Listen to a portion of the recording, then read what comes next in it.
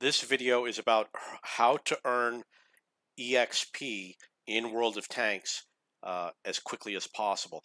But I'm only going to focus on what is within the game, and I'm not going to focus on actual gameplay. Uh, so basically, we're going to go through all the menu options, and as you can see, some of the menus are going to have options such as premium time, the times three manageable bonus to experience, um, and personal reserves, clan reserves, etc. So, first of all, premium time gives you additional XP. It's approximately 50% more. You get the times three manageable bonus to experience, times three on your base experience, which is the same as adding twice as much. And then you have options for personal reserves, and you have uh, personal reserves for EXP, and you have personal reserves for free experience. We're going to go back to this menu and you see over here you have something called the clan reserve. With clan reserves you can also earn experience and free experience uh, when you have a battle. I own a clan which means I can come over here and I can get a bonus to free experience, a bonus to crew experience, a bonus to XP, which is called Combat Experience. This is the one you're looking for and the free experience. And this is possible in random battles. It's not just for clan battles. You get these in random battles. You just get different amounts as compared to the clan battle. Having premium time is something that you can purchase. It gives you a bonus. However, there's also ways that you can win premium time. So then we're going to move on to here, which is the convert option. Over here, it pulls up a window and it shows that I have vehicles that have accumulated combat experience. For example, my WZ-132, I've got 154,000 and I could pay 6,000 in gold to convert this into free experience. This is enough to level up a tank easily and to go through many modules. Uh, you, it does cost you gold. Uh, I got this gold through loot boxes. Uh, there's other ways to win gold, etc. But in general, you do have to pay for it. And you see over here, it says one gold equals 25. You can wait until they have a bonus where it's one gold equals 35. And I think I've even seen it higher at 45 or 40, but it will definitely be available for one gold equals 35. And if you have a lot, the smart thing to do is to wait. Okay, so then we're going to go to the store and we're going to see what we can purchase. There's going to be a lot of interesting things. So over here we have the black market. That's not going to help you. And over here we have Dynasty Wars. That really doesn't help you. Uh, this is something that will be duplicated here. So we've got gold. You can use gold to convert your combat experience into free experience. Uh, that is basically elite tanks and premium tanks have the option of earning combat experience or accelerated crew training. Uh, you could purchase premium time. For example, you could purchase just one day. You could either pay cash or you could pay, in this case, 425 gold. And in some cases, you can use a coupon and get a discount.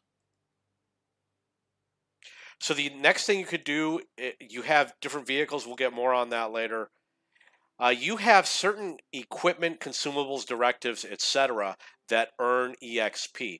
Coated Optics earns you EXP because when you spot the enemy, you earn EXP for spotting the enemy and you earn uh, by getting spotting damage. So if you run this, you could earn EXP passively. The same thing with Binox.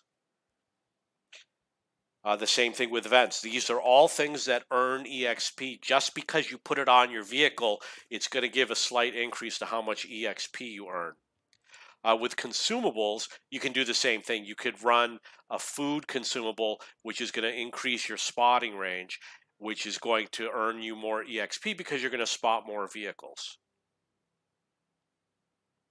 In terms of directives, uh, the recon in force is going to earn you more EXP because you'll have extra time after you die in battle where you'll be earning EXP uh, because of spotting enemy tanks. So, for example, if you rush an SPG and kill it and you die, I'm sorry, let's say you rush an SPG and you die, your allies will kill that SPG. You can earn additional EXP uh, by using recon and force because you just happen to be in the right place at the right time. Focus on target earns additional EXP because it keeps enemy tanks spotted a few seconds longer. And then personal reserves, the obvious one is to run, uh, in this case, what's called a battle reserve, or this one here, which is free experience. You, you want the combat XP, or you could use the free XP. And this is bonds. Bonds buying vehicles really isn't going to help you. So you can go to the depot and you can check your stock and see if there's anything here that earns you additional EXP. One of them is blueprints. So you go to what's available for creating a fragment. You have lots of blueprints and lots of universal prints. I can go and I can create a fragment for one of these tanks uh, based on what's available for creating a fragment and just pick one that I really don't want to uh, like the STB1. I'm not that happy playing the tank that comes before it, so it's likely that I will level that up to 113. I'm getting tired of playing the tier 9, so I can make a blueprint uh, for that. Personal reserves we already discussed. The other option is missions. So you have special events. This week's event is called Dynasty Wars, and you have different prizes that's a rental vehicle. This is a medal, etc. Over here you see it says open reward for merit. Let's see what we get.